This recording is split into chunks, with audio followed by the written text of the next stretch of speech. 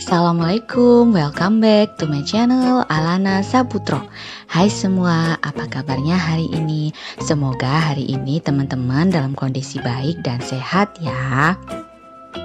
Di videoku kali ini, aku mau share tutorial cara bikin origami lotus Alias origami bunga teratai ya teman-teman. Hasil akhirnya seperti ini dan si bunga teratai ini bisa dipakai juga untuk tempat permen loh teman-teman. Persiapan untuk lebaran nanti ya.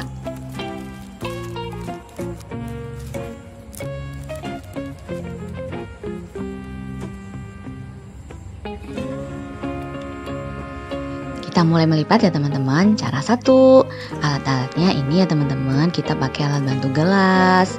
Cara melipatnya seperti ini. Dilipat jadi dua, jadi bentuk segitiga. Disetrika juga teman-teman jangan lupa ya. Ini kan pakai kertas tisu tuh. Kalau belum pas, ini kita potong dulu. Jadi bentuk nanti perseginya tuh biar sempurna gitu ya.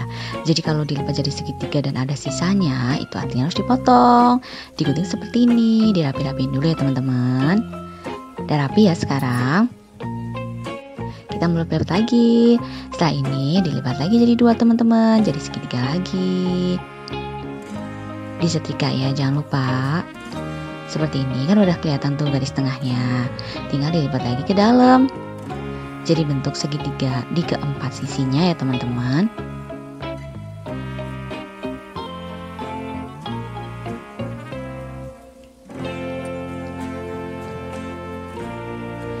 Setelah keempat sisinya jadi, dilipat lagi ke dalam nanti kita. Dirapi-rapihin dulu ya.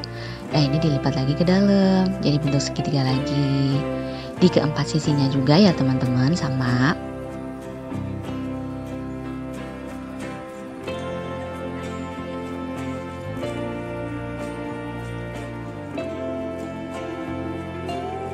Setelah jadi seperti ini, tinggal dibalik. Sambil dirapihin ya dan dilipat lagi ke dalam jadi bentuk segitiga.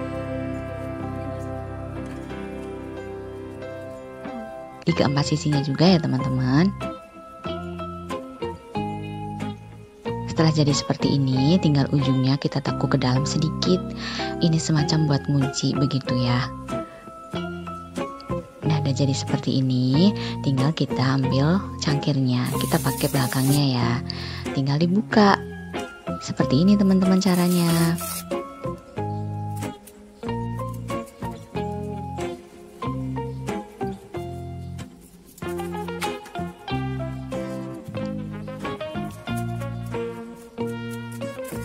Nah, udah jadi seperti ini teman-teman.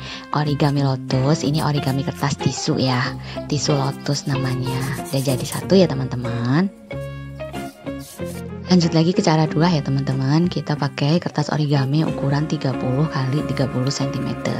Aku ini ambil yang warna pink. Cara melipatnya sama ya teman-teman kayak cara yang tadi. Ini kan uh, kertas origami lebih tebal ya daripada kertas tisu. Jadi aku nggak pakai bantuan cangkir atau gelas. Soalnya nanti agak susah teman-teman untuk nekuknya. Dia bisa sobek. Tapi kalau teman-teman nyoba dan nggak sobek, lebih baik sih pakai cangkir aja ya. Cuma kalau enggak ini aku tunjukin cara yang lain. Jadi tanpa bantuan cangkir pun kita tetap bisa bikin origami lotus. Diikutin terus step by stepnya ya teman-teman. Caranya sama cuma dilipat ke dalam aja jadi bentuk segitiga seperti itu. Cuma ini kan kertasnya lebih besar jadi kita nekuknya lebih banyak. Nanti jumlah kelopaknya juga jadi lebih banyak lagi teman-teman. Diikutin terus ya step by stepnya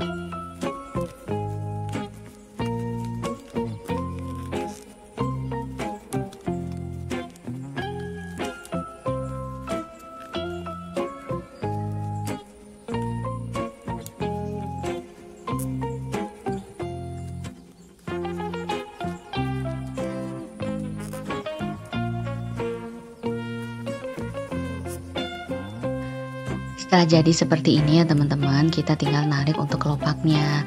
Ini caranya ditekan si yang buat kunci itu. Kalau kita pas mukanya tuh uh, percaya diri aja ya teman-teman, gak usah ragu-ragu gitu. Jadi yang penting uh, kunciannya itu dipegang yang kuat. Terus kelopaknya ditarik. Udah gitu aja. Percaya diri aja pokoknya ya. Kalau yang pertama nyoba sih biasanya agak susah karena bisa sobek ya. Tapi yang tapi coba aja lagi teman-teman. Yang penting kunciannya dipegang yang kuat. Habis itu kelopaknya dikeluarin. Caranya seperti ini. Gampang banget kan teman-teman? Nah sekarang tinggal dirapi-rapiin. Ini kelopaknya udah jadi ya. Tinggal yang kelopak untuk yang baris keduanya Caranya sama, tinggal ditarik ke atas aja.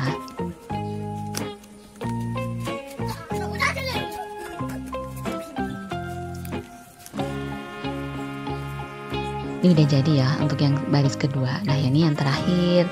Cara caranya pun sama, tinggal ditarik ke atas aja. Ini dibagangin yang kuat ya teman-teman, biar kalau kelopaknya pas ditariknya gampang. Nah, udah jadi teman-teman bunga teratainya. Ini kalau kayak terlalu kuncup banget, ini caranya tinggal dibuka seperti ini.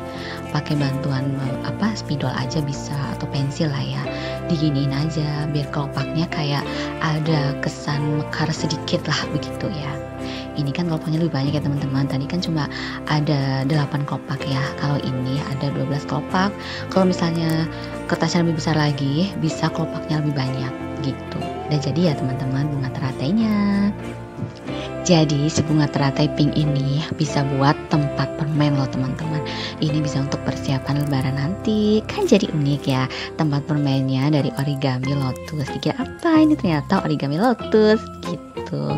Ini aku buat permen fox sama permen case ya udah jadi semua ya teman-teman. Aku bikinnya kebanyakan. Ada pink ada merah ada hijau ada biru ada kuning juga. Buat referensi teman-teman kira-kira bagusnya yang warna apa? Seperti itu ya